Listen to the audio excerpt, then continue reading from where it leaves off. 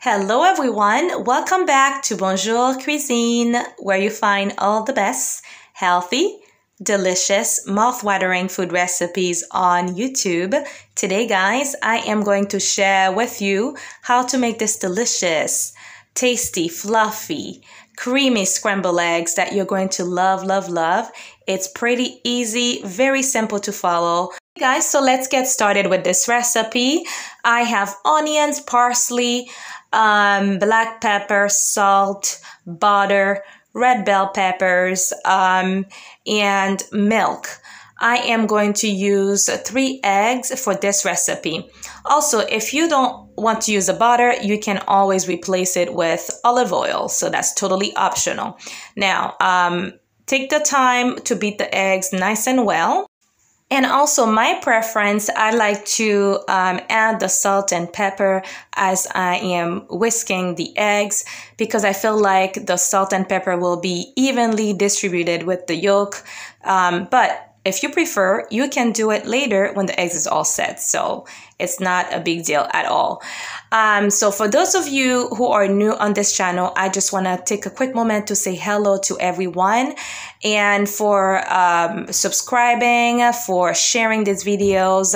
On here, I share um, delicious recipes, life topics, and the gospel, even marital advice. Um, especially for the young people who are on this channel, it will be super useful to you guys, um, emotionally, mentally. Um, I am sharing um, what I know that will be helpful to you guys. So now on a non-stick skillet, I am going to um, melt the butter, keep the, uh, the heat on medium high um, and uh, melt the butter nice and well. But you see, I don't want to have this egg to be uh, so rigid, dry. So as soon as I add the eggs, I went ahead and um, put the heat on medium low. And uh, as you can see here, I give it a, a little whisk. And I'm not over mixing this because I don't want it to be rough or tough. That's what will give it the fluffiness and creaminess um, just like this, you guys. And there it is.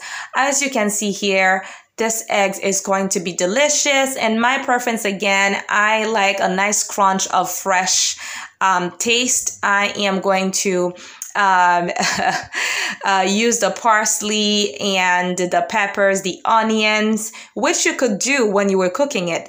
But this is my preference. I am going to garnish it with the onions, the bell peppers, and the parsley. Oh my goodness. This is super delicious. I hope you give it a try and come back and let me know how it turned out for you. So thank you guys for watching. I will see you soon with more videos. Bye.